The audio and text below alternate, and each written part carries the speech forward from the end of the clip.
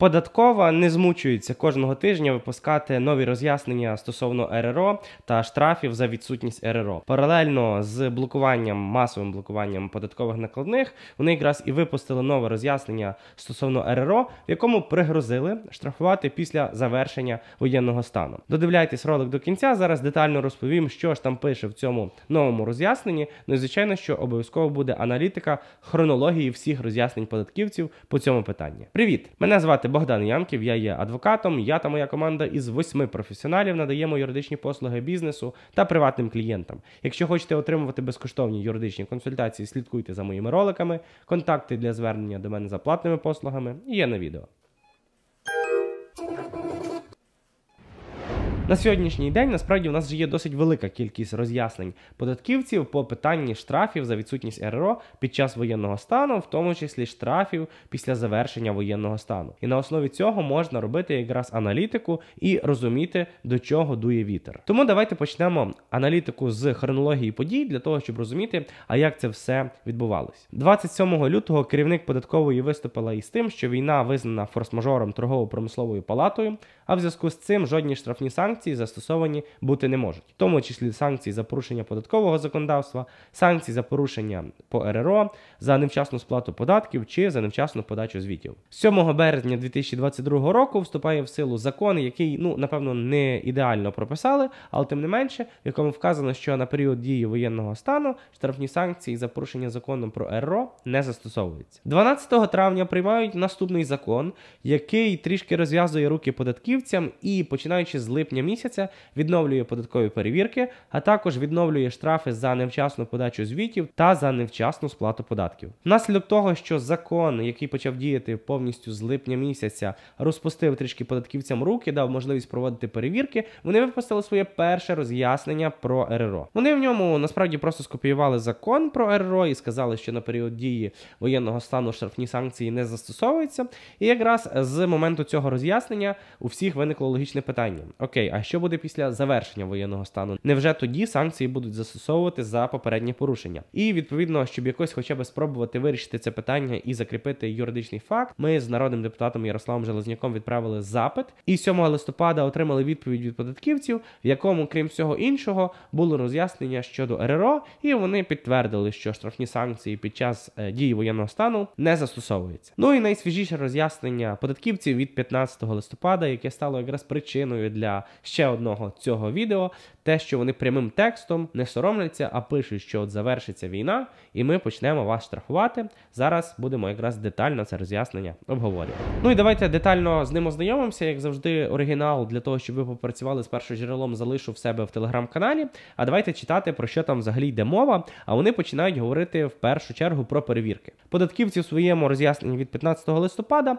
наводять перелік перевірок, які вони можуть проводити. Зокрема, вони говорять про фактичні перевірки і камеральні перевірки. І внаслідок цих перевірок вони говорять, що вони можуть застосовувати штрафні санкції. І, в принципі, частково я це можу підтвердити. Фактичні і камеральні перевірки проводитися можуть. Це правда. Ну, наприклад, фактичні перевірки це перевірка, коли інспектор в себе в офісі сидить і дивиться, чи є якісь порушення. То в нас досить багато клієнтів, на жаль, отримало штрафні санкції за те, що вибивали готівкові чеки понад 50 тисяч гривень. За це передбачений штраф кодексом адміністративних правопорушень не законом про РРО. Саме тому такі штрафи можуть застосовувати вже зараз, і для цього достатньо зазвичай лише камеральної перевірки. Ну і звичайно, що фактична перевірка теж може бути. Це тоді, коли інспектор прямо приходить до вас на точку торгівлі і вас там перевіряє. Тут може бути три сценарії. Досить частий насправді сценарій це коли ви просто відсутні по цій точці, або коли у вас там вже не актуальна адреса, і тоді може бути е, штрафна санкція за те, що це фактичний недопуск до перевірки. Крім того, може бути варіант, коли ви торгуєте під акцизними товарами, алкоголем, тютюном, е, рідинами до електронних сигарет, то в цьому випадку штрафні санкції застосовуються навіть зараз під час війни. Ну і варіант третій, коли ви ФОП єдиник, друга чи третя група, то в такому випадку штрафні санкції до вас не застосовуються і на практиці по своїх клієнтах саме от якраз ці сценарії це типові варіанти, які я бачу в реальному житті, в реальній практиці. Проте, знову ж таки, як я декілька разів вже казав, в своєму роз'ясненні від 15 листопада податківці йдуть вже на крок далі. Тобто, як ми бачимо по хронології подій, вони потрішки-потрішки рухалися, а зараз вони остаточно хочуть нібито легітимізувати свої дії, і вони кажуть в своєму роз'ясненні наступні речі: от закінчиться війна, за всі порушення, які у вас були під час війни, ми оштрафуємо потім, після завершення війни. Тепер знову ж таки, давайте я висловлю свою думку, що я думаю про всі ці роз'яснення податківців. Хоча моя думка, насправді ви вже її чули, оскільки вона залишається незмінною від самого початку. Я маю три основні аргументи. Почнемо насправді з такого самого базового, мушу це обов'язково сказати. Якщо ви прям зовсім цього боїтеся, не хочете розбиратися, в разі чого судитися, відстоювати свої права, ну то звичайно встановлюйте касовий апарат чи програмний касовий апарат, і в принципі забудьте про це питання повністю. Ви собі можете, наприклад, встановити програмну касу ЄЧЕК, які дають перші два місяці використання абсолютно безкоштовно. Лінк на ЄЧЕК залишу в описі до відео. Ну а стосовно аргументів по наявності чи відсутності штрафів за незастосування касового апарату в єдинника, який не торгує під акцизними товарами за цей рік. Я насправді вважаю, що це фактично мало можливо.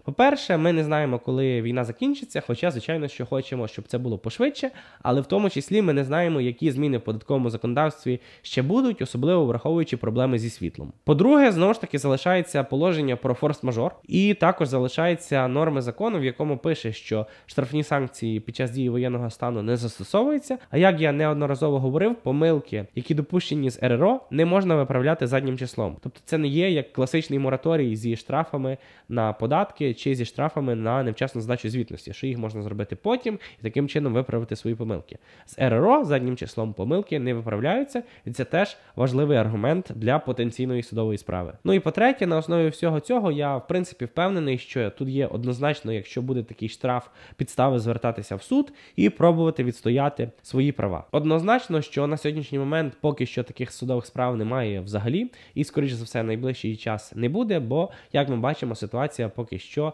така, що воєнний стан діє, і зовсім недавно його знову продовжили на три місяці. Тим не менше, не переключайтесь, нажимайте зразу на екрані на моє наступне відео, в якому я розповів про ті штрафи, які підприємці отримують прямо зараз, в яких випадках їм донараховують податки. Впевнений, це відео для вас буде корисне. Переходьте, переглядайте, побачимось в наступному ролику.